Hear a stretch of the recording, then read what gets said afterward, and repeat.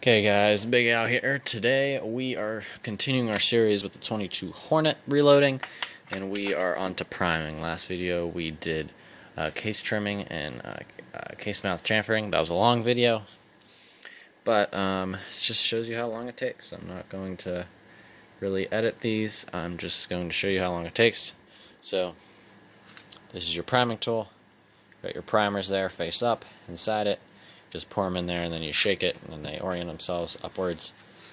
It's a typical hand priming tool. Place your case in the top, pull your handle, and there you go.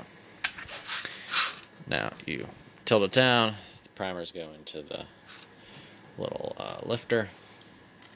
Set your case into the shell holder, lift it up, feel it seat. These Hornet cases, I don't know if it's just these or most small rifle primed cases feel like this, but this really easy pull. Not much when I'm doing large rifle. I usually like to set it against the bench so I can get a nice consistent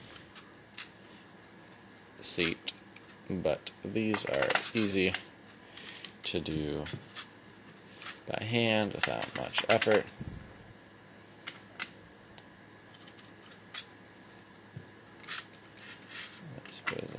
Goes there.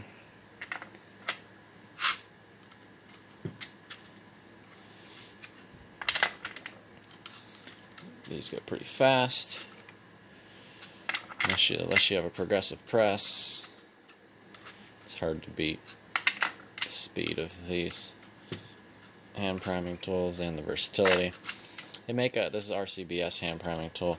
They make, uh, I think RCBS also makes a uh, universal uh, shell holder one. This one you have to insert the shell holders. So that would be something interesting to use, but I don't know if it's spring adjusted or if you have to actually adjust a screw. Because this one takes a minute or two to change shell holders that's not half bad.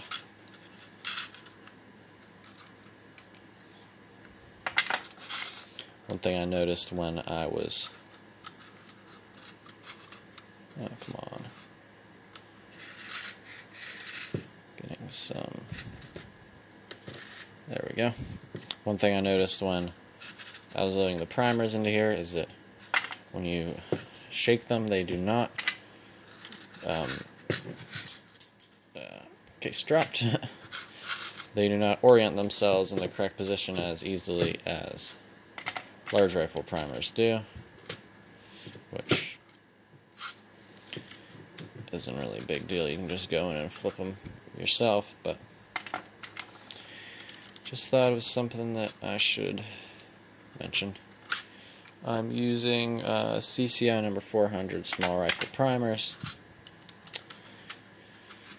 they've been all I've been using, so a lot of people use them though, so nothing fancy.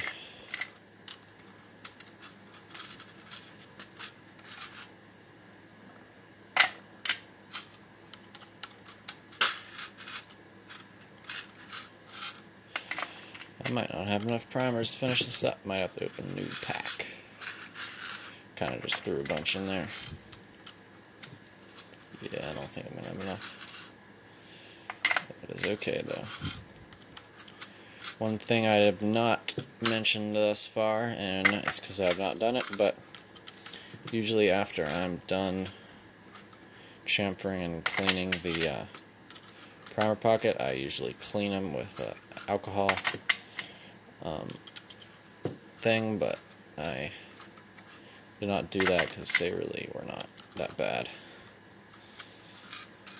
Something you can do though, so do that for all my ammo that I test and any accurate stuff I load it. I uh, make sure to wipe it all clean just so there's no piece of brass or anything that gets stuck on there.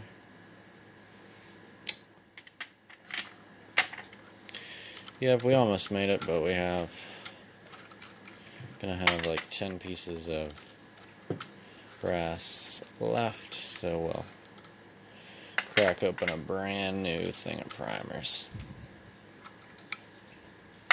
Then you get to see me load them, maybe, if I can get in the camera. Yep, this goes on the floor.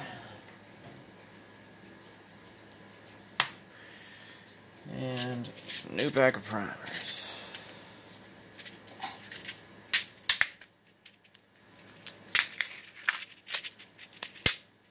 Got tape on it. CCI 400s. There you go. Small rifle. How much tape do they need?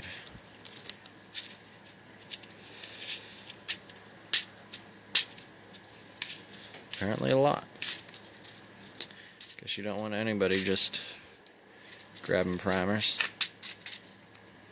That's stupid. Gonna have to just pull out a knife. Make quicker work of this thing. They really stick to that, for sure. Both sides of the cardboard. Unbelievable. There we go. You don't know what primers look like. Just in a bunch of trays. How many do I actually need to load? Yeah, I only need to load 10. There's 10 in a row. So, get your 10 out, positioned. Get your, I don't want to fill out. Get your loading tool, take off the plastic cover, turn it upside down, put your primers right up against it, like that, flip it upside down, and there they are on your loading tray. Now they're not all positioned correctly, you want them with the exposed part facing up the silver side facing down so you shake them and it's supposed to flip them but that one yeah there we go. Was a little better with a little bit less primers. And then you reposition your plastic shield on top of it. And you're ready to go. We'll do the last 10 this is that one that fell on the floor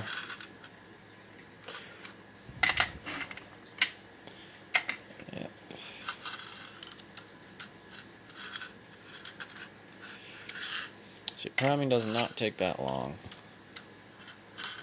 This video will be short video, but I will not include powder in this video because powder will take a few seconds to set up. And uh, we'll make this another long video. We don't need one of those, so make it short.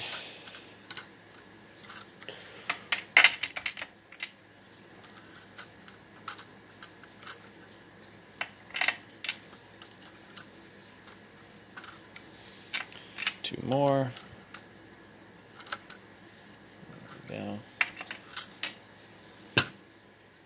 Sometimes, as you can see there, do not come up straight. That's why you gotta watch every time. Ah, there it falls on the floor. Anyways, you can just manually position it where you need to. Straight up on it. Let it drop. Oh, man. It's not want to go. Back in. Seat. And then you have them. 47 of them. Ready to go. On a powder. Measuring. Stay tuned for that video. See you next time. Big Al out.